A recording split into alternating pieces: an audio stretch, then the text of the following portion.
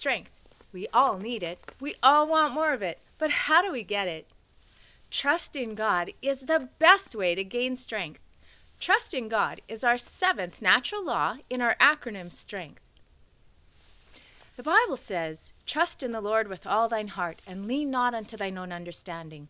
In all thy ways acknowledge him, and he shall direct thy paths. Be not wise in thine own eyes. Fear the Lord, and depart from evil. It shall be health for your navel, and marrow for your bones. In this world of uncertainty, there is one thing we can still be certain of that is trust in God. We can trust God, and we can trust His Word. Isaiah 55 10 and 11 says, For as the rain cometh down and the snow from heaven, and returneth not thither, but watereth the earth, and maketh it bring forth and bud, that it may give seed to the sower and bread to the eater, so shall my word be that goeth forth out of my mouth. It shall not return unto me void, but it shall accomplish that which I please, and it shall prosper in the thing whereunto I sent it. The same creative power that spoke creation into existence is the same power that's in God's Word. This power is behind every promise. 2 Peter 1 3 and 4 says this.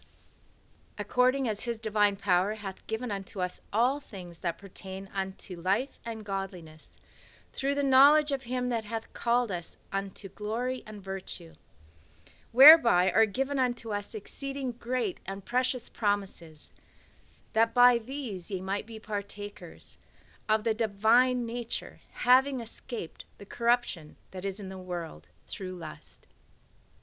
Did you know God's word is like an instruction and repair manual?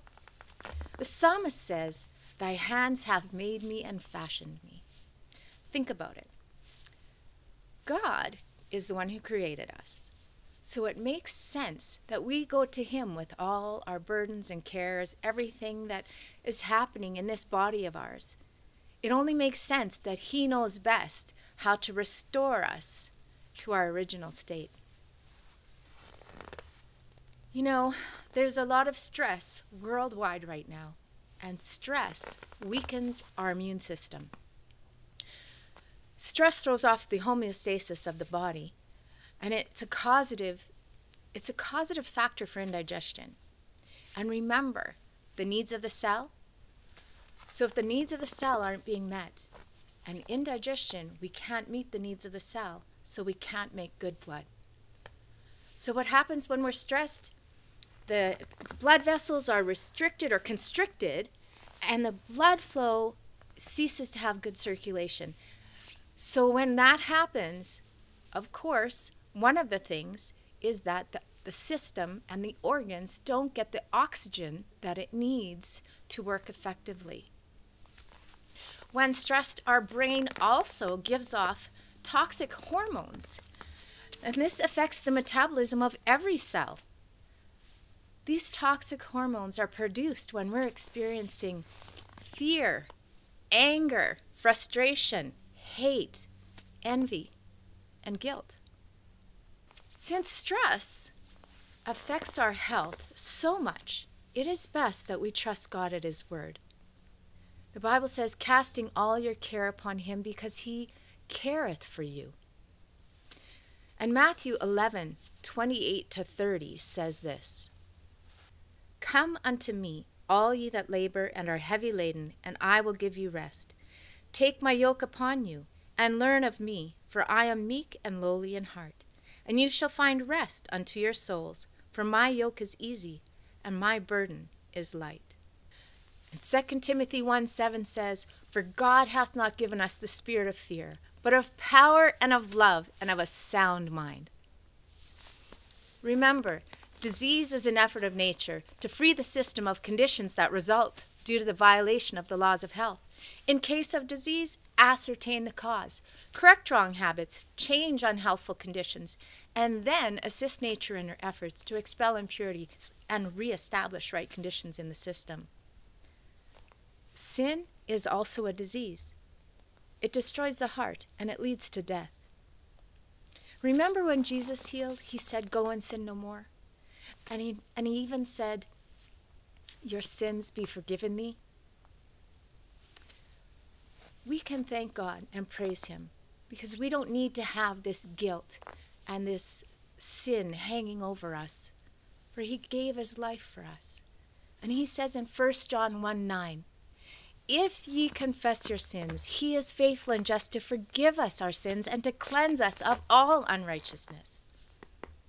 And Romans 6 22 and 23 says this But now, being made free from sin and become servants to God, ye have your fruit unto holiness, and the end everlasting life. For the wages of sin is death, but the gift of God is eternal life through Jesus Christ our Lord.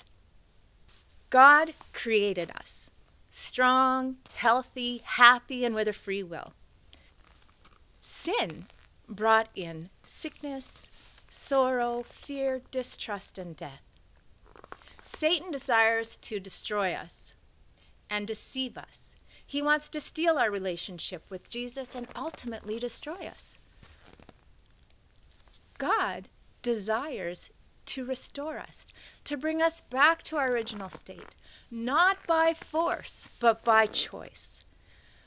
The choice is ours, the power is God's. John 17:3 says this.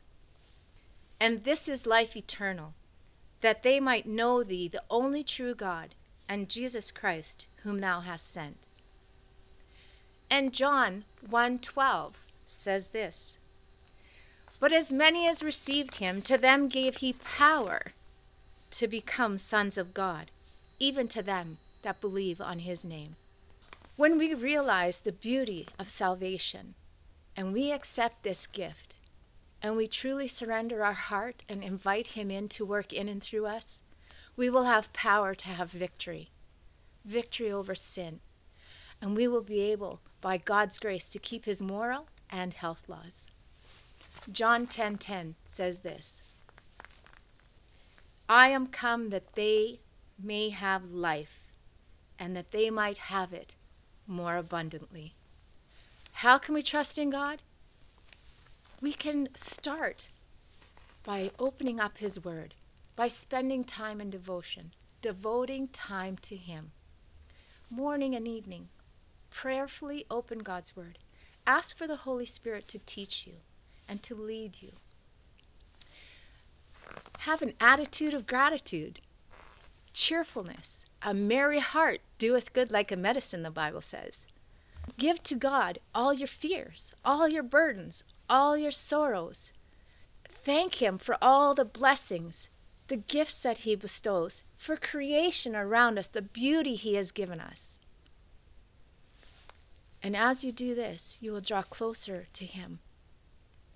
And your trust, your faith will grow. God says He has given all of us a measure of faith. What we do with it is up to us. We reap what we sow. So why not sow habits for good health and reap an abundant life? Join me next time for more tiny bites for strength.